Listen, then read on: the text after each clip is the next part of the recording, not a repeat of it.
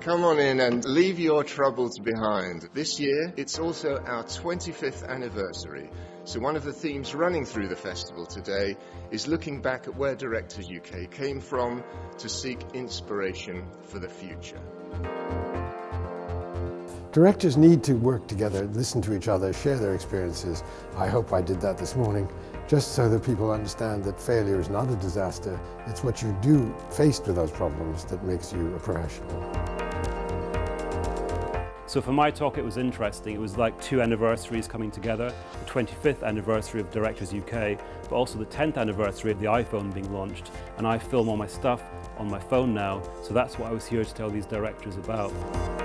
I think it's important to get directors together at different stages of their career, talking about their experiences. I just think that the injection of any new blood, anyone speaking and sharing their experiences, uh, is, is great. Being a shooting PD, things are changing all the time. The remit of what you're expected to do, the kit you're expected to do it with, it's absolutely critical now and going forward as the medium and the role is changing that we keep talking. Directors sometimes forget that the actors are the focal point of all our work as filmmakers. The connection between what's on the screen and what the viewing audience sees has to be a human one, and the essential conduit of that is the actor. Directors UK crosses all the genres. So you've got people here from fiction, from animation, from documentary and from entertainment. So it's an amazing place to get different kinds of people who come under the banner of directors being in one place at one time.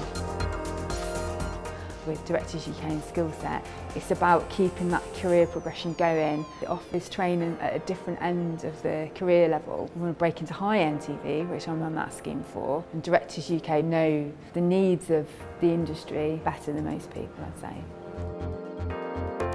It's great to see so many really passionate people in a room together all talking about their same vision as well. And it's a very different kind of networking when you get people in the same field. It's much more supportive. You don't really need anything from the other person, but you can get so much from them if you have a genuine dialogue. When you look around at the people who come to the Directors Festival, we see all different age groups, we see different genders, we see people from different ethnic backgrounds. Just come to the Directors UK Festival and you will see the whole range of our directing community enjoying one another's company, learning from one another and celebrating what they do.